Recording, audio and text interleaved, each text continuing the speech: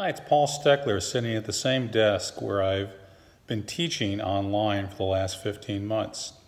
I'm here to welcome you to the advanced documentary screening for the spring. Um, I want to thank my TA Sachin, uh, who was my teaching assistant for an entire year and was just fabulous. As always, I want to thank all of the um, technical staff, Keith, Suzanne, Jeremy, Kai, everyone who helps fix the equipment, all the folks in equipment check, checkout, and also uh, my RTF staff and faculty colleagues who I'm all looking forward to seeing in person in the fall. And of course, all the support we get from our chair, Noah Isenberg, our production area head, Stuart Kelvin, our graduate advisor, Mikkel Alvarez, and our dean, Jay Bernhardt. Stick around afterwards. Um, I think you'll see the uh, link for the question and answer, and all our filmmakers and hopefully all the people in the films will stick around as well. So enjoy the show, and um, I'll see you right afterwards. Bye bye.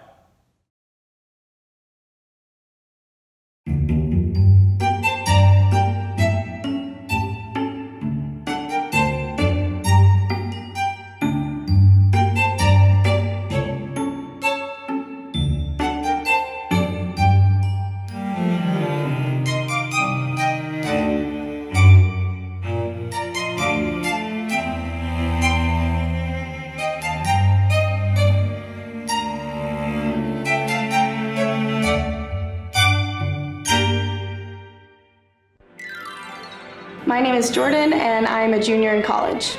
So this is college. When I came into college, I knew exactly what I was getting into. I knew exactly what sorority I was going to go. I knew I was going to get a bid from them, and I had the rush process down to a T.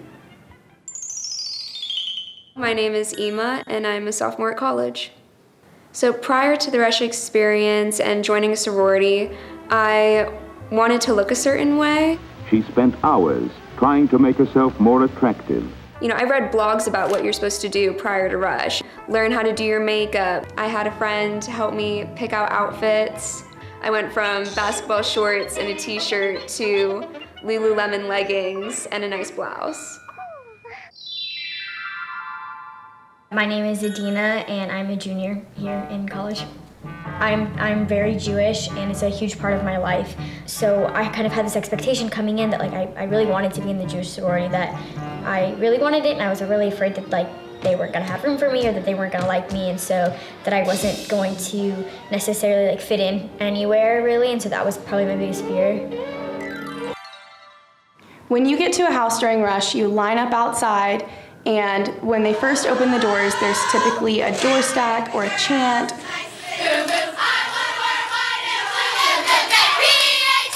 they're kind of screaming at you and it's really overwhelming. But then you walk into the house and it is probably 100 to 200 people in one room screaming over each other, trying to have just the most basic conversation you've ever had in your life. So during these conversations, it's okay to mention you have a boyfriend and stuff, but for me, it felt safer to not mention it. It's a first impression, so I just didn't necessarily want to share that right then because I wanted to get an invitation back to another day and eventually to bid day getting a bid. After the first round, I was cut from every house, but the Jewish one and that to me was really, really scary. Was I cut because they were like, oh, she's gonna go to the Jewish sorority, or because they did not want me because I was very Jewish? I'm talking about the fact that you're Jewish. You must make friends among your own kind. There were some kind of comments that were made, like it's very clearly obvious that I'm Jewish. I'm, you know, wearing Jewish jewelry. It's a Jewish bracelet. When they figure out that you're Jewish, their kind of whole vibe changes. Are you crazy?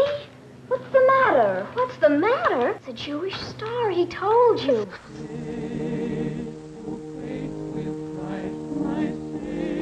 What sororities were, were founded on was, you know, straight Christian ideologies. And so that kind of attitude has carried on throughout history. And even though they've kind of shifted and changed and they're working towards being diverse and inclusive, I, that attitude kind of has not changed in terms of like Jewish women going through the process.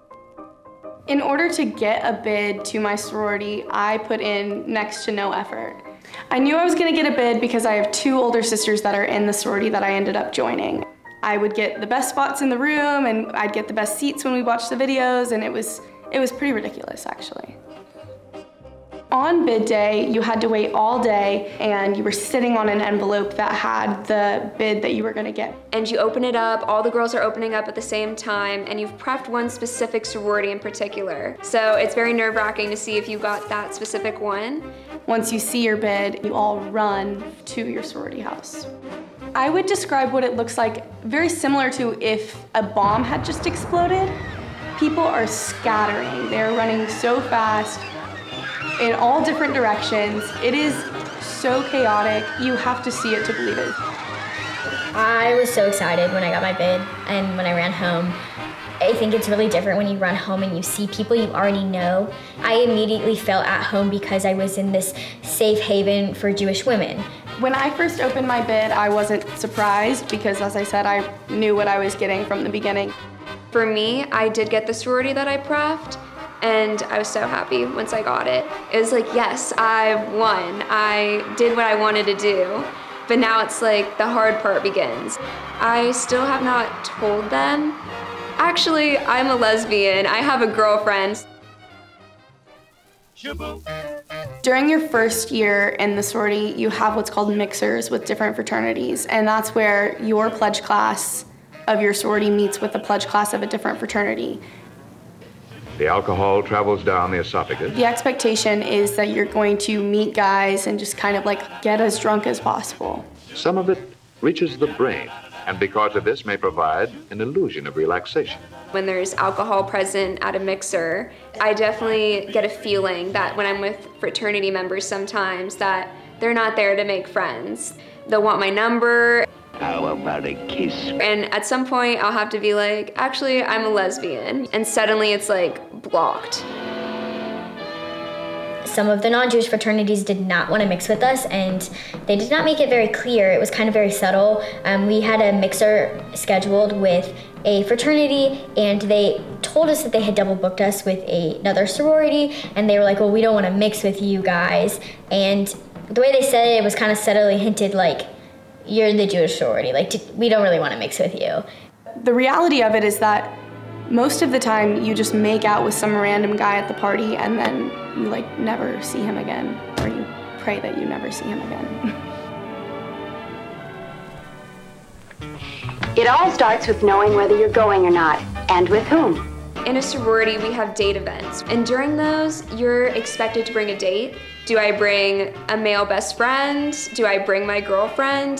There's fear there. I do feel like sooner or later, I'm going to have to say something. I'm going to eventually want to invite my girlfriend to a date event. And that's going to be a moment where I realize and I discover if my fears are real or not. To be determined. if you are going to give a party, plan that party around a purpose. For fraternity parties, typically the whole point is just to get as many girls there as possible. You know, all of us went to this Jewish fraternity, and so we met all the Jewish guys like that night. It's kind of like this instant connection, like they want you to meet the other people in our community kind of that are also in Greek life and see like that side of, you know, what's happening. So I have had a negative experience at a fraternity party. Um, I was just dancing with all of my friends, and um, I guess I got pulled away and was assaulted in the party room at a fraternity on campus.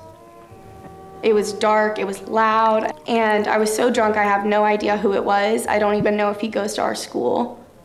And then I was just away from the scene. And um, some friends came and picked me up, but then they actually, they left me in their apartment and went and slept over at their boyfriend's house while I was alone in their apartment. This really made me question what sisterhood and sororities was supposed to mean. Like going into this, I expect when bad things to happen to you, you want your friends to stand up for you and to be there for you. But in this instance, I was by myself and I was abandoned and alone. And it made me wonder what am I doing? Why am I here? Like, what, what is a sorority supposed to be if it doesn't do these things I expected? I think sororities will always carry the traditional aspect with them. But I feel like we are moving in the right direction. And even though I haven't come out yet, I feel like by senior year, I should and I definitely will. Um, I, I do think that the sororities and Greek life and the fraternities, like there is this ability to change and to be more aware of the issue. You know, the way that they act around like the Jewish sorority and fraternities is because they don't know, because they're not necessarily educated on the topics. But I do think that there is ability to change if we make people aware of the issue. I think Greek life is a like hub of privilege and essentially that breeds people with the mindset of I can do whatever I want. But it also it does help make a big university a lot smaller. Helps you make small friend groups, it gives you more to do, it sets an agenda for you. I think Greek life is a good thing. I just think that there's a lot of things that need to be worked on. I think the point of a sorority is sisterhood, and those are why they were founded, and that's why they still exist today, is because people are looking for a place to belong.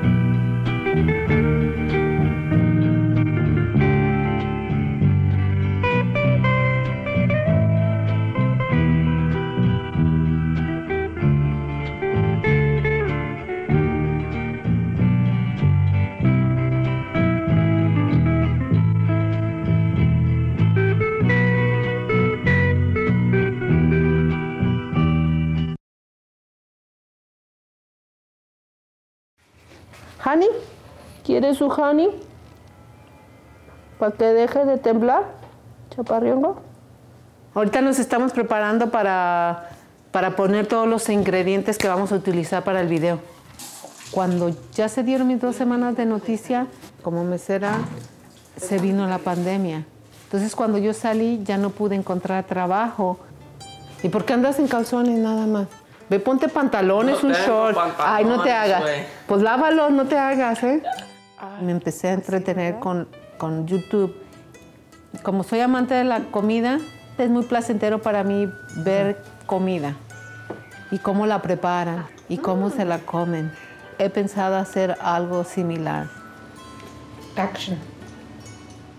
Hola amigos, ¿cómo estamos? Ahora vamos a hacer un delicioso mole poblano. ¿Y quién creen que lo va a probar? Roger, the Destroyer.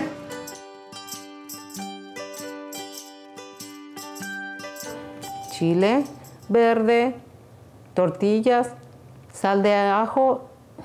No, espérate, ya me equivoqué. Espero que tenga espectadores que les gusten mis videos para que yo pueda tener un cheque.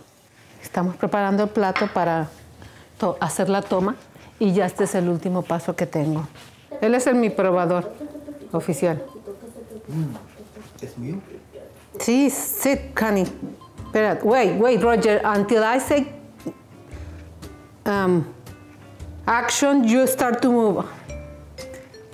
Tu papá es, es una persona este, muy cambiante en, en su personalidad. Este, la principal en, el, en los videos voy a ser yo. Él es el que va, va a grabar y va a entrar dentro de los videos también. I had this idea flash in my head of a cowboy who uh, went back to his house and got off his horse. I thought maybe a, a caricature person could make like a caricature of me and Angie. Your mom's definitely going to be the straight man. I'm definitely not going to be the straight man because I like to have fun, you know. And anytime we it gets heated between us, I just tell her, uh, we're supposed to be having fun. We'll see how it goes. I mean, we could do this for the rest of our lives together, and that'd be just fine with me. A ver, déjame ponerte el queso porque eres capaz de meter tus manos y te apuesto que, que no te las has lavado. No, ¿Qué? Están limpios. Están limpios y te estoy viendo que te agarran los tanates. Toma, toma. Te voy a dar con la chancla. Ok. Hasta la vista, tripié. Lo principal es que divertirme, especialmente porque todo tipo de trabajo es, es estresante, se podría decir. Y el estrés no es bueno. Entonces yo quisiera que, que si yo empiezo a trabajar en un canal en las cosas que a mí me gusta hacer, como comer, eso me desestresa. Y a lo mejor me ponga más gorda.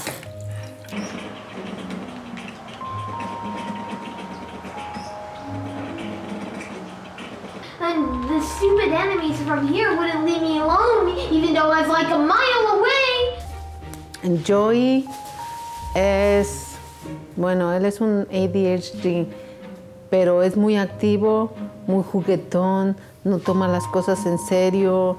Have you helped out in any reviews, or are you interested in helping him? Sometimes, but not often. Like I hold the camera. Yeah, but she doesn't trust me with it anymore, so. Why? She's afraid I'd drop it. You think you drop it? Yeah. Brian, él es un niño muy calmado, este es, es sumamente inteligente. I can't. Why? Have you seen any of Mom's uh, videos? No. I don't even know what her channel name is.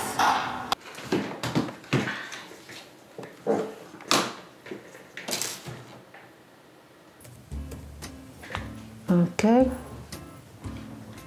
Búscalo. Ah.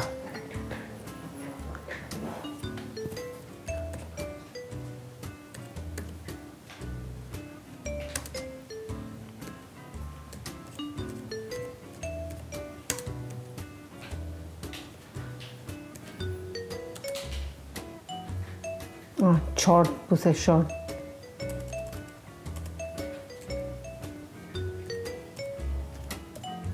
Así se escribe, ¿verdad? Ah, ¿Cómo lo escribiste? ¿Con Sí. TH? No, SH. Es ese. ¿Ese? SH. Eso lo quiero borrar, pero no sé cómo. ¿Y por qué me sale la pantalla chica? Pero es lo que está en esa chingada. No sé qué. Eh, Tú eres una niña muy inteligente, muy responsable. Eh, Yo no tengo queja de ti porque tú has sido para mí mi asistente, mi copilota. Me ha apoyado mucho en ti, más que en, en tu, en mi pareja. Eres una gran bendición para mí. The only small kitchen I had in my life was in Mexico. We bought this house. This is the one you like, and now you complain the No, I, kitchen's I too just small. don't have so many cabinets to put them my You stuff. picked this house. You shut up. Daddy bought her a house with a small kitchen. Ay, ay, ay. Si me caigo, me levanta. Ay, ¿cómo me gusta? ¡Ah! See? Mi turno. Mi turno. That's good. That's what it's going Thank to you be. very much, señor. No problem. My price is two hundred and fifty dollars. Let me tell you, you will be rich. tonight. Unless you want to make some other arrangements. Ah, that's why I'm telling you, I'll pay you tonight. or tomorrow. Cash? Tomorrow. Cash? Mi childhood fue, fue buena, fui feliz, aunque mm, mi familia también fue disfuncional porque mi papá tenía problemas de alcoholismo. Este, mi mamá era una persona muy fuerte porque nosotros fuimos ocho hermanos y ella tenía que hacerse cargo de todo.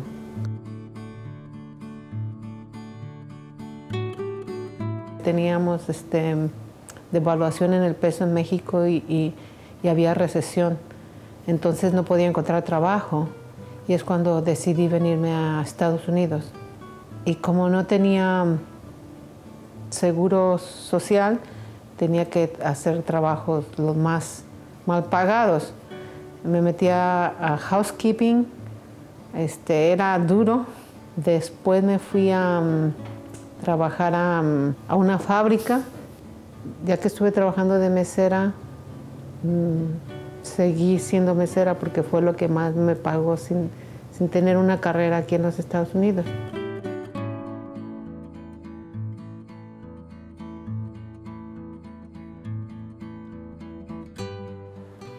¿Te duele tanto? ¿Tienes tu...?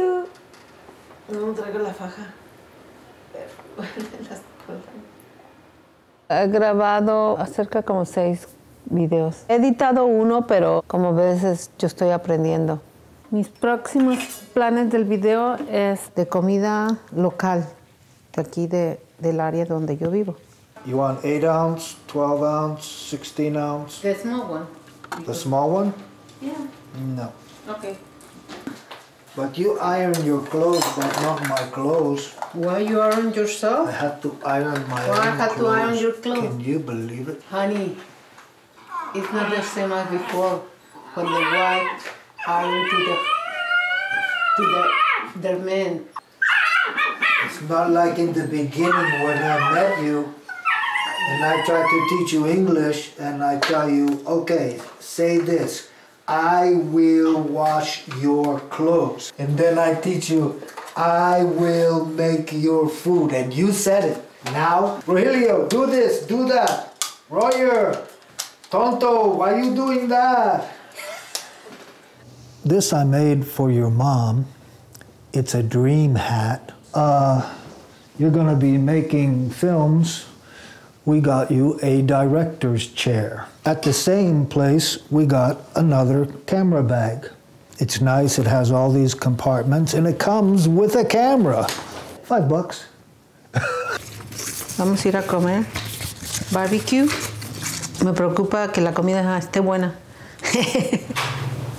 la pila está llena, tengo otra pila llena. El SIM card.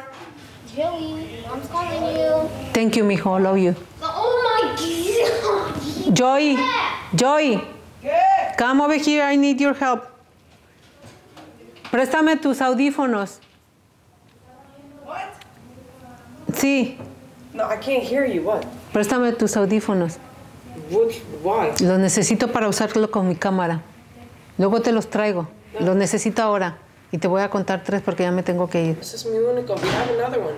Usa el otro. Tráemelos, pues. I don't know where they are though.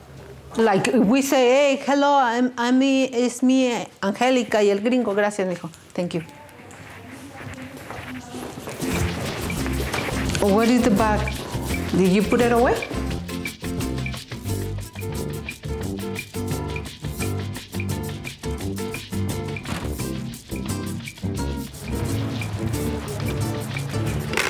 Hola, ¿qué tal amigos? Soy yo, Angélica y él. Y el gringo. ok, los vamos a invitar a comer una deliciosa Muy Comida- deliciosa. barbecue Tex-Mex, ¿ok? ¿Vienen con nosotros? Sale, bye. Tengo hambre.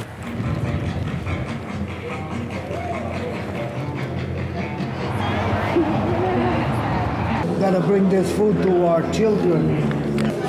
Come to. Ah,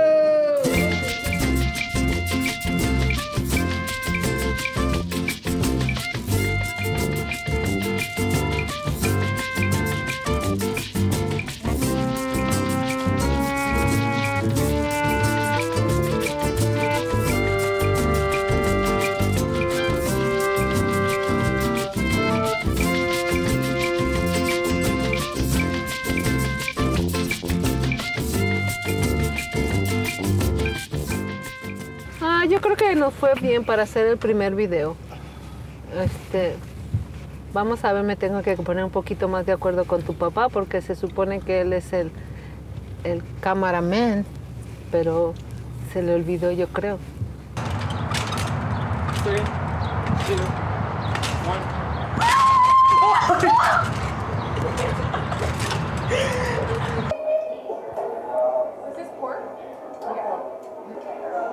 Mi de este.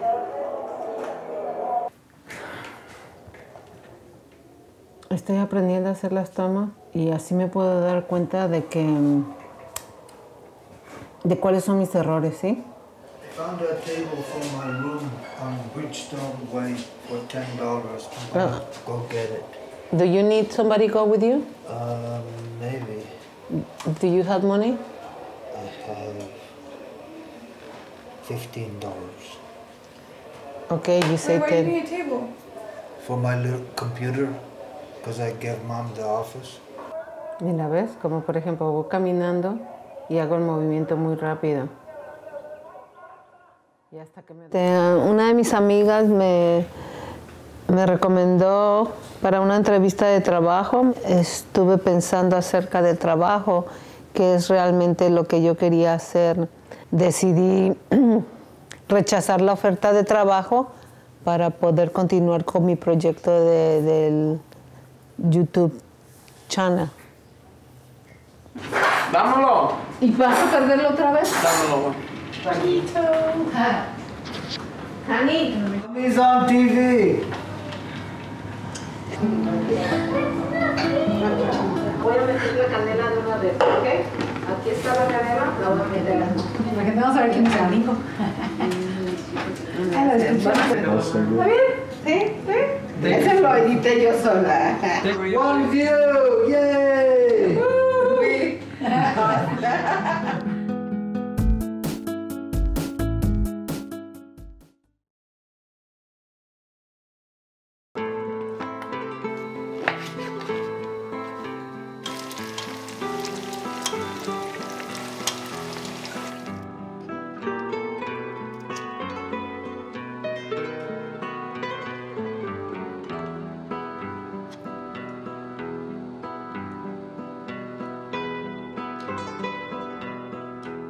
Yo empecé a cocinar comida japonesa cuando me casé con tu papá. Casi siempre él la hacía la primera vez y ya después yo seguía la segunda vez. Pero casi siempre éramos así. Yo le ayudaba a cortar algo y él preparaba otra cosa. Y entre plática y cocinando se nos iba rápido ese rato ahí. Sí, sí, sí, sí, nos agarramos los dos porque él opina una y sí, yo me agarro también con él porque él me quiere hacer que no se hace así cuando él me enseñó así. Y ahora me quiere cambiar que ya no se hace así. Pero no, tía, a mí me salen muchas comidas mucho más ricas que él.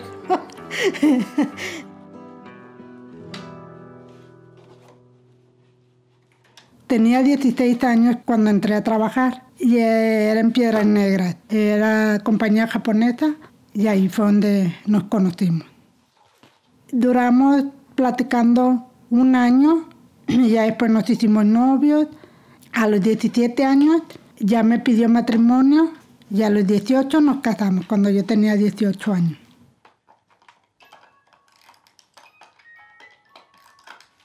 De primero cuando él me mandaba recados o así, pues no, yo lo ignoraba porque pues yo decía, ¿cómo yo con un, con un asiático?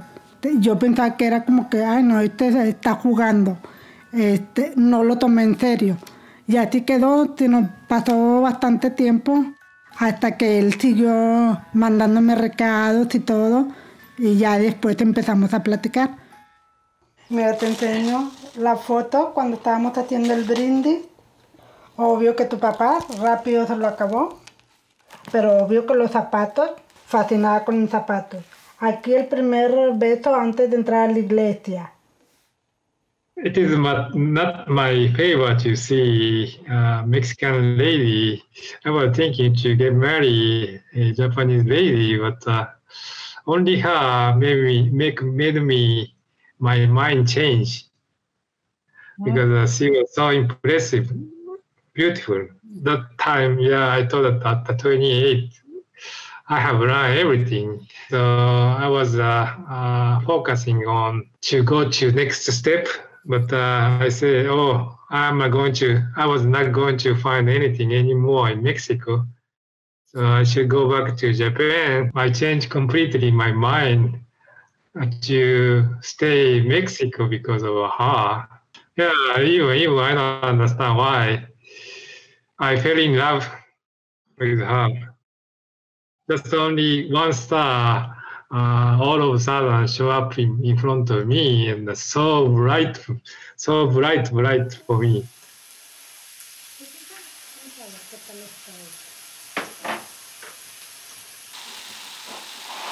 Gente se sorprendía al ver que tú tenías niñas que no se parecían a, a los demás. ¿A ti te caía mal? eh, o- Siempre me decían que si yo estaba casado con un chino. O sea, siempre era esa pregunta que me hacían. En esos tiempos no te molestaba que consideraran a papi chino, Chino. aunque no era chino. ¿A ti te molestaría? Si alguien te, pre- si alguien te pregunta a ti, ah, ¿eres china? Lo, yo fuera. Tú si sí le fuera, japonesa. le, fuera, le fuera dicho soy japonés. O soy japonesa. Gente de, de Latinoamérica siempre han dicho como que casi todos los asiáticos son chinos. Ahora, ¿cómo vamos a cambiar eso si nosotras no vamos a estar empezando a corregir la la gente, gente. ¿sabes? Porque si no... Do I like being mixed? Growing up, no, but why? Why are you giving me that face? I'm surprised to hear that response, but go ahead. Yeah, so when I was younger, a lot of little kids would pick on me, but now mm-hmm. I've learned to embrace both parts of my Yeah. culture. Yeah. Were you ever picked on like you? I don't think I was ever picked on for how I looked. When were you picked on? Like, what was there a time frame? Like, Uh, do you think I'm it was like people? Well, I remember specifically being in that class during like a musical, and uh, they put like all the little colored girls in like one the backup backup dancers for this musical, Mhm. and all the leading parts were like the little white girls that uh, were there. That's not necessarily me being picked on, but uh, that's like Like you were put in a group? yeah, like looking back at it now, I'm like, dang, that was racist Yeah. as hell, or that's like very, uh, that's just wrong. Yeah. basically.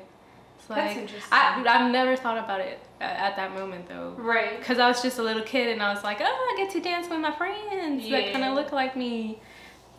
I'm trying to think. Like, did I ever? But mostly, me? mostly it was for my eyes, like people doing like this, and it was just like, ah, it gets so old after a I while, know. and it's just like, I don't even Yeah. care about those uh, people anymore. It's just like I just do my own thing. Like hell yeah, I do have like slanted Eyes. Asian eyes. Yeah. So Agreed. But that was also in a very like. I mean, for a while we. I don't want to say that we were the only Asians, but like. We were. We though. really were. We there were, there was maybe another family. Pues ahí vivimos pues bastante tiempo, hasta que nos mudamos para Estados Unidos. Fue en el 2001 cuando nos vinimos para Estados Unidos. Yo no soy de las que me quedo, ay no, es que tengo que estar acá en, en Paz porque acá está mi familia, no. Y ahora el trabajo de tu papá, como está en, en California, pues vamos también para allá. Digo, ahorita como estoy aquí en Austin, voy y visito a mi familia en, en Isla Paz y ellas vienen a visitarme aquí también a Austin. Y así no la pasamos. Se me secaron todos mis árboles. Este era una toronja, naranjo, mandarina y limón. Con el frío se me secaron todos. No sé si va a... Ah, creo que va a brotar, pero está muy abajo. Yo creo que a Es que ellas viven en frontera y nosotros vivimos eh, pues en una ciudad. Pero aunque Isla Paz también es una ciudad, pero donde ellas viven, pues es diferente. Eh, que algo que tu papá, como él tiene otra cultura, él tenía otra cultura ya, pues ya ahora ya se hizo muy mexicano, pero al principio, cuando ustedes estaban todos chiquitas y pues siempre nos íbamos todas para Guerrero y decía él, pero ¿por qué se tienen que ir juntas? O sea, ¿por qué tienen que estar juntas siempre? Eh, este, y le decía, pues porque sí somos, o sea, tenemos, eh, o sea, así es, o sea, así es. Y cuando ya mi mamá fallece, dice él que le admiraba, ¿verdad? Que ella siempre este, le, eh, procuró porque siempre estuviéramos juntas, ¿verdad? Y que de hecho eso era algo que, que por lo que él no le gustaría regresar a vivir a Japón. Porque dice acá es muy diferente. Y él dice que, que, que nunca le hubiera gustado, o sea, con ustedes llevarlas a vivir allá. Por eso, porque no había esa conexión como la que tenemos nosotros aquí. Yes, her family nice, always nice to me. Problem is the more uh, after after marry because uh, now I had to explain. She has to explain me why we had to do this one to live together. Mexican has a, uh culture to kiss, hug. Uh, when you leave from a house, we don't have it. Japanese don't have it. So if I don't do that, they believe that oh, this man, uh, he he doesn't love me. Just like that one, kind of a kind of a confusion and fall in a dilemma. If I keep doing uh, uh, ignoring that uh, custom tradition. So that was a kind of a practice that uh, you had to do it even. Oh, I don't, I don't need to do it. I follow my culture, but uh, you had to do it. So you think Erica had a different childhood than you because of the way she looks? I think maybe you did. And the only reason why is because out of all three of us, you look a little bit more of one race instead Mhm. of like maybe me that kind of looks like a little weird. Uh, so people that we grew up with, they could put you in a box, right? Because when you look, when somebody looks at you, or at least when I look at you, your features look more Similar, similar yeah. to uh, our Mexican mom. Yeah. Do you think me and you have a different childhood? I think because we look more Asian. Oh, did. yeah. Mhm. Erica said she didn't get bullied, but I did too. And, For uh-huh. being Asian? Yeah. Or having more Asian Yeah. features? I think that's why at the beginning I was like, uh, I think I was more sh- like like Mhm. ashamed because people would bully, but I was also trying to fit in. But Yeah. I don't funny. think that I identify with one race more than the other, even if I look a little bit more Mexican than I do Asian. But I will say that just being fluent in Spanish and not in Japanese does make me feel a little bit of an imposter. Oh, yeah. You know what I mean? Like, and I'm not saying that that is like it takes away from like the experiences or etc. But I feel like there's a level of immersion that hasn't been possible because I don't know how to fully speak it. You know what I mean? Do you But feel like it's like part of your identity is not there because of that? Yeah. hmm I feel like it would be so crazy if I if we did know Japanese and not Spanish, then the roles would be reversed. Right. You would be. I would be more like you, I Yeah. guess. And then we would be more like Erica. Yeah. Then nobody would really believe me. I'm Mexican. They'd be like, nah, you ain't Mexican. Este, por aquí seguimos igual, no es como que gran cosa acá lo que ha cambiado. Es- estas colonias como son viejas, realmente para aquel lado se han hecho colonias bien bonitas, nuevas, pues todas nuevas. Pero pues nosotros aquí en la misma colonia que Cristian dice, ya vámonos de esta colonia tan fea, él se mortifica tanto. Digo, ay, hijo, No, y aparte porque pues ya les queda retirado, ¿verdad? Ya es... mm, Pues es que te diré, es que Cris quiere que eh, yo le había dicho, sí, pues nos vamos y compramos como un ranchito o algo así. Pero le digo, Cris, pues ya tenemos rancho ahí en México, o sea, ¿para qué vivir ahí? Aquí, o sea, en otro- o sea, no, nos va a quedar más retirado para comprar.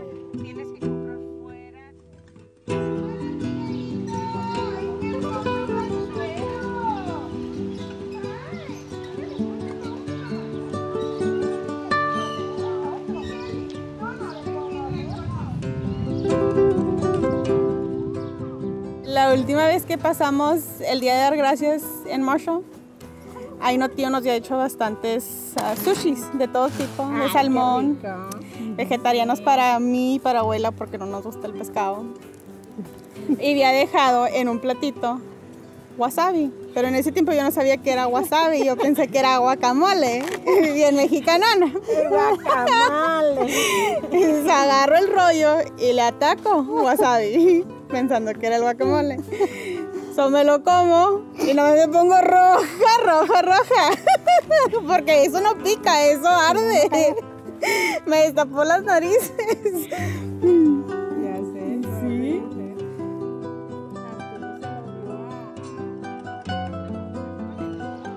Si, si me hubiera casado con un mexicano, yo digo que sí hubiera sido muy diferente mi vida. Porque la cultura es diferente, como quiera, acá es otro estilo de vida. Sí, 100% diferente. Yo creo que hubiera vivido en Isla Paz si me hubiera casado con un mexicano.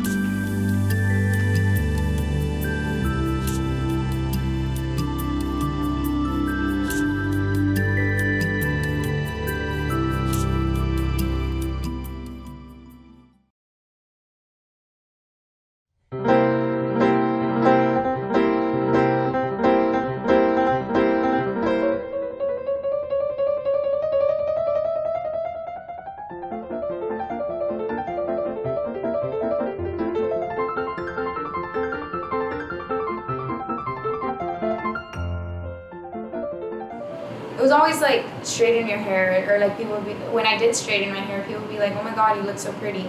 I just focused a lot on trying to have my hair as straight as I could, or like tied up because I didn't like it. They always said my hair looked like a nido de ratas, a rat's nest. Um, they called me tishuda, which means it's like a, I think it's like a witch who has crazy hair. And they also called me, um, or they sang to me a song called Despeinada. It's like despeinada, uh huh, uh huh. And it just means like your hair's not combed, like messy hair. Like that's what it means.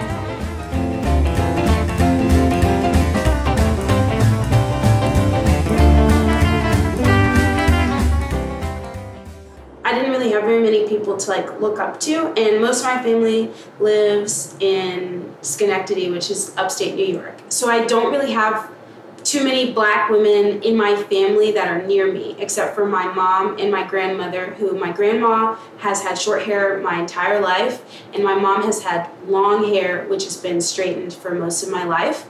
So um, I didn't really know how to embrace my curly hair because no one was really talking to me about it. I would ask for it to be straightened like every weekend, and I think she would just be like, no. So I was like, I'll just do it myself. So I think that's that kind of caused the me getting older and like me knowing what I wanted at that time, which wasn't necessarily like the best thing for me to straighten it every weekend, but it's what I wanted to do. So she kind of like stepped back and was like, You're gonna have to learn this lesson on your own, I think.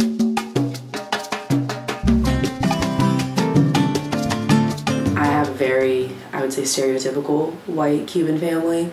Um, so from the jump, they would always make it seem like in order for me to look pretty or in order for me to look fina, like to look nice and put together, um, for anything, my hair had to be straight. The worst day by far was August 14th, 2017. Um, and I know that day specifically because it was the day right after my dad died. I remember we went to my grandma's house because a bunch of my family had come over. And the second we got there, my grandma immediately was just incessantly attacking how my hair looked, saying that I look como una dominicana and saying that I look como una negra and all this stuff. Like just berating me with all these comments. My mom would be getting me like these Brazilian blowouts and all of this kind of stuff and like promising that it would be easier to take care of, easier to manage, blah blah blah blah. And she would always be trying to get me to learn how to like straighten my hair and how to do all that kind of stuff. Um, because I just hated having curly hair at that time.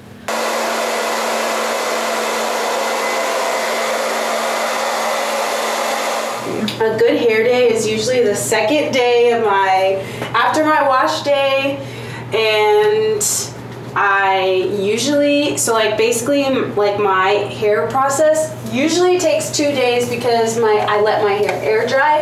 And so when I let my hair air dry, like after doing this process, I will sleep with it in like kind of a pineapple, which is like me putting all my hair up to the top of my head and then sleeping with a bonnet on. And then the next morning I'll go in to the shower and I'll let the steam kind of get to it and it puffs it out a little bit.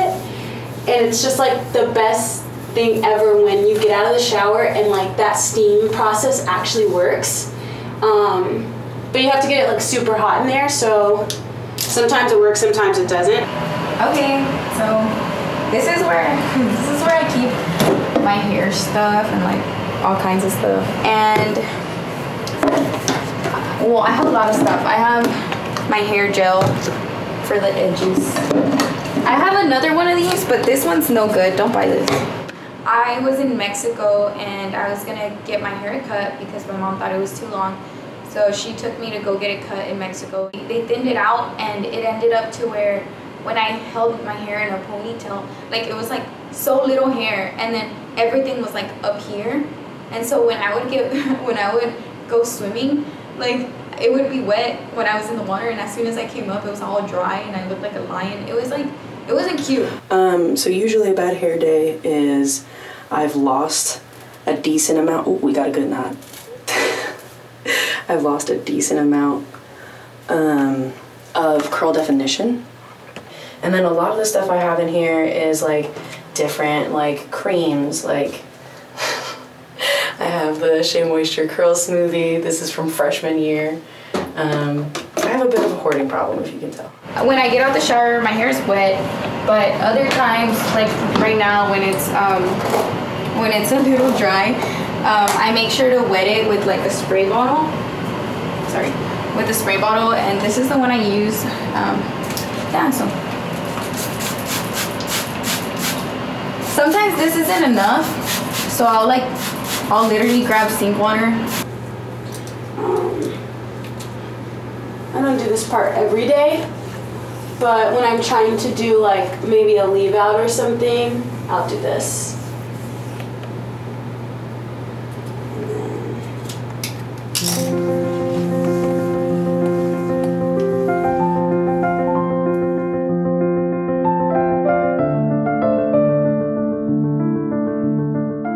Um, so I definitely, yeah, I would say I love my hair. It's been a long road to get to this point. Um, yeah, it's been definitely a long way of having to be like, no, like my hair is cute, or a long way to be like, you know, I don't necessarily have to chop it all off for it to be something that I like having, and all that kind of stuff. I would definitely say that um, take care of your natural hair because it's the one that grows out of your head, and that's the one you're going to be with your entire life. So appreciate it, take care of it because it's a part of you and it grows out of you.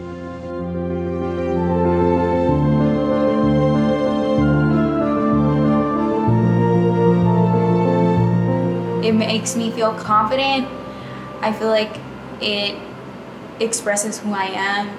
Like if I were to have straight hair now, I I don't feel like myself. Like I feel weird or different.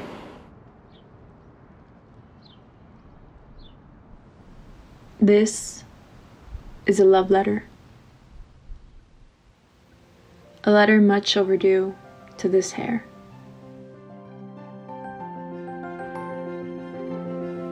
My hair. A gift from my parents. The only thing that I kept besides my father's last name. And to be honest, I owe you an apology. I used to resent you, tried to tame you, even burn you just to fit in. Convince myself straight was better, more put together. How silly was I to fail to see the beauty once I learned to embrace it instead of change it? It was always there, in every kink and curl. I'm sorry it took me so long to appreciate you. Had to learn to love myself to love you too. I promise you this I will never try to hide you. These curls are an extension of myself. They do as they please, sitting pretty and free.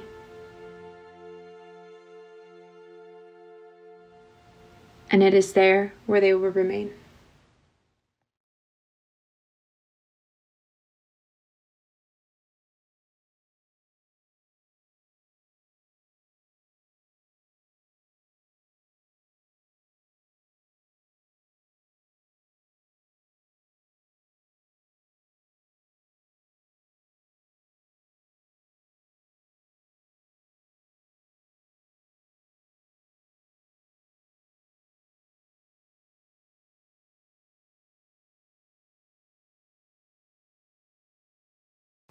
I do think that you should be closer to me though. Now, how is this? A lot better, yeah. Yeah. You Yeah. get closer though.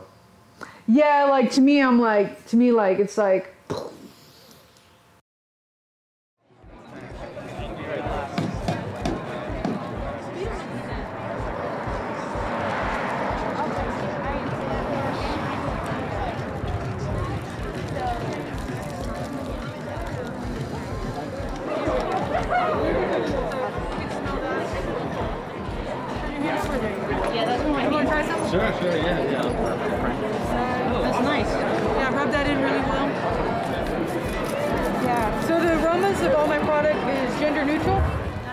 ever came to Austin with the idea of I'm going to be here and I'm going to build here and grow here.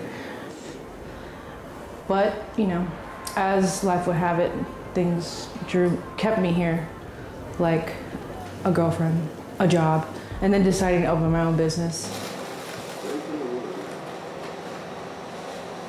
And this has a little bend at the nose, so it'll help see on. Well, I got mine on upside down. Business started getting slower. And then sometime in March, I think at the beginning of the March, that other barbershops started closing. They're like, oh, in light of the pandemic or whatever they were saying, they're like, we're gonna close. And I was like, ooh, I was like, you know, I'm gonna keep going. Um, because it was already slow and it's I just needed to ride it out. I had like a handful, a small handful, like you know maybe four or five people that I ended up booking within a week's time, a week and a half time, and I went to their house and did home visits.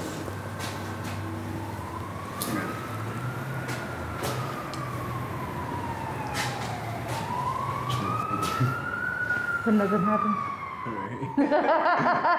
My cousin used to say that all the time. I tried to think that nothing happened. I think it was Three Stooges. I couldn't advertise it because there is definitely some barbers out there that were like salty about that, you know, on Instagram. They're like, like, like I'm the reason the pandemic's happening and the spread's not stopping. I'm like, I'm gonna keep going, cause like I started out this year short on money. I'm not gonna just keep digging deeper and deeper, you know. Uh, so I was like, I'm gonna try to, you know, dig my way out of this hole a little bit.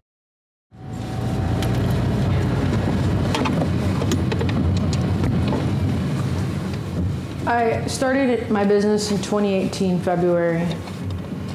And then by 2019, I was having symptoms that were exhausting me and tiring me, and it was a quandary too. I was like, something's wrong with me.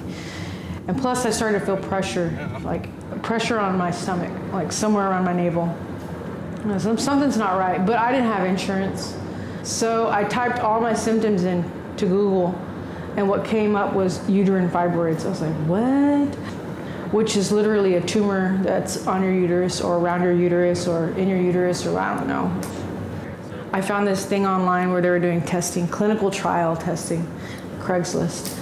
So I answered their little questions, sent it in, and they emailed me back. They're like, hey, you qualify. I'm like, oh man, I do. They're like, um, you have a uterine fibroid living at your navel that is nine centimeters, which roughly is three and a half inches. Three and a half inches.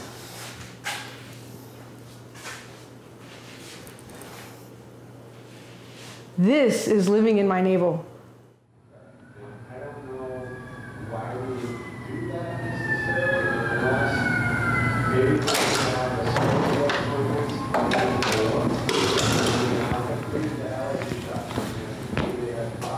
That was actually went better than I thought.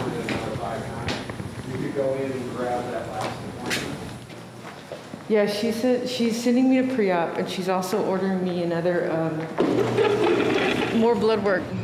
I like her optimism. I'll tell you that much. I was thinking they weren't going to be optimistic. She said the my uh, fibroid, my tumor, covers 75% of my uterus. She said so. Basically, the chances of it becoming a hysterectomy are kind of they're pretty fair. Like it, it could become a hysterectomy, which of course I would lose my uterus. Um, I'm not sure exactly how I feel about that. Maybe on a Wednesday I might feel pretty pissed, but on a Thursday I might be like, get it out. I don't know. I think it's pretty apparent that that um, I'm accompanied, look af- looked after. I'm I'm taken care of, you know, by my creator, ancestrally, you know, the universe. But at any moment, you know, twist of fate.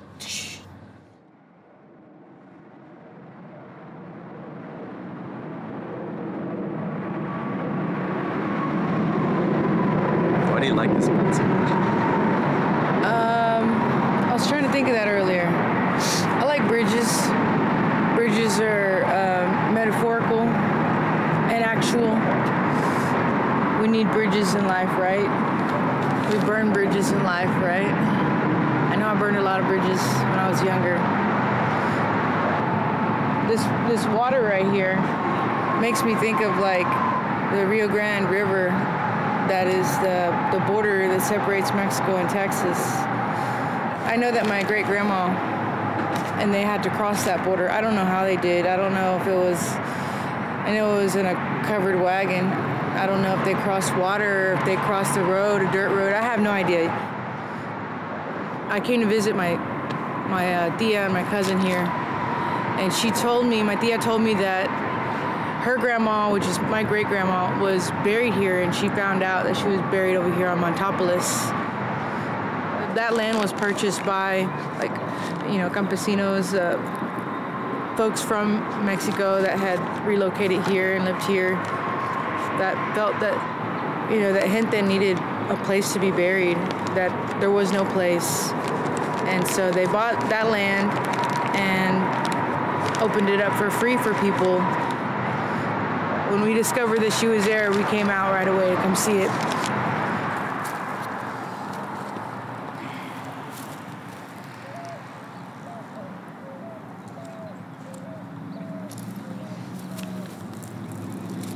Chains.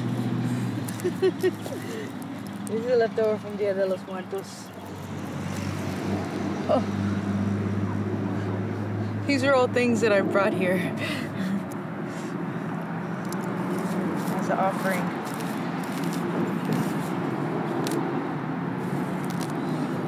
A little herbal bundle, piece of Palo Santo, and a rock of some some kind. Give what you can, right?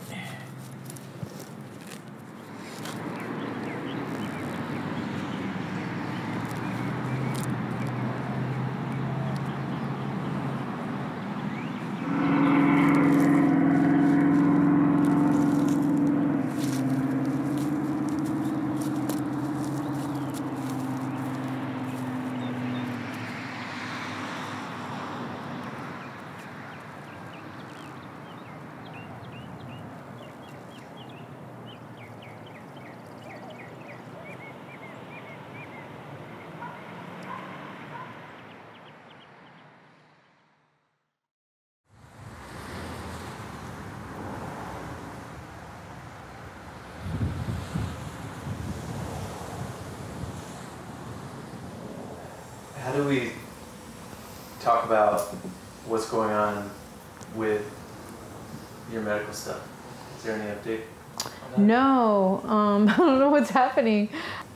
My results now are like, what, three weeks old now? I haven't heard anything. I try to call them, nothing. So I have to, I have to try again. But every day that I wake up, I'm not thinking about it. I'm like, this product, this, that, you know. Um, the 28th, uh, which was the gay shops, the little gay shops grand opening. Um, it was my opportunity, in hindsight, really looking at it, it was my opportunity to really pinpoint what I'm doing here, um, what I'm after, and what my what my goal is. I've been saying this in my head. I've been like, okay, I'm going, I'm, I'm starting a plant-based barbering movement here, um, which sounds so like it doesn't fit into barbering. It just sounds so much like a vegan barbecue house. you know? So I'm just like, well, you know, a lot of things didn't fit when they first happened, but now it's like you couldn't imagine them without it. It also helps me focus, you know what I mean? It helps me have a focal point of of gratitude, um, of knowing that, you know, I'm not gonna be here that long. You know, I'm gonna I'm gonna drop my seeds in the ground, water them, and get the hell out of here. You know, and hoping that somebody else will, you know, will continue my work or will see my work and appreciate it. My focus is gratitude, prayer, ancestors. Um, I'm right now trying to figure out how to like have more fun. um, text me if you know. I need to have more fun and I get it. Like I'm just everything is so serious. Sometimes I feel like I'm just I'm like, God, just burn the place down, forget about your vision, drive, drive, drive until you like find all the fun stuff, you know. Have a cutie in the side, you know, like in the passenger side, and just like all this changing the world stuff. I just want to have some fun.